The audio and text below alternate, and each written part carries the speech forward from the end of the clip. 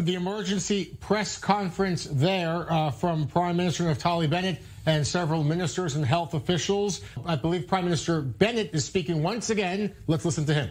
System and government for being uh, open, for being transparent, sharing all the information with us. Uh, this uh, new B11529 variant is concerning and has the potential to be very dangerous.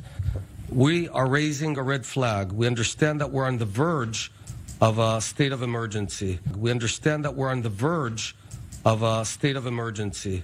Uh, just two weeks ago, Israel carried out a national drill to prepare for this very outcome. We called it the Omega war game, the variant called Omega, uh, of a variant that is uh, even more contagious, that may bypass to a certain degree the uh, vaccines. And now uh, we see a, a, variant that spreads faster and requires us to respond faster. Uh, we've been working together with uh, other world leaders, and now's the time to act fast, early, hard, and strong.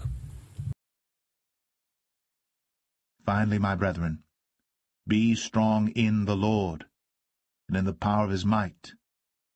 Put on the whole armour of God, that ye may be able to stand against the wiles of the devil. For we wrestle not against flesh and blood, but against principalities, against powers, against the rulers of the darkness of this world, against spiritual wickedness in high places. Wherefore take unto you the whole armour of God,